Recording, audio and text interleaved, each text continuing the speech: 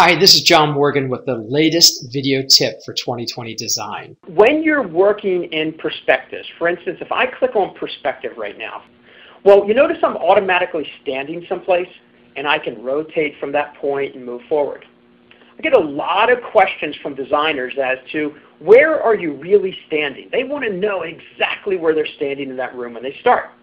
Well, if that's something you want to know, all you need to do is click on the camera down here in the lower right hand corner. See this camera? If you click on the camera, in all of your drawings it will always show you where the camera is. And you have the ability to hold your button down on it and move it around. I can move this camera around. I can actually grab the back of it and adjust it. Typically I make all my movements while I'm in the perspective, but this shows you where your perspective starts.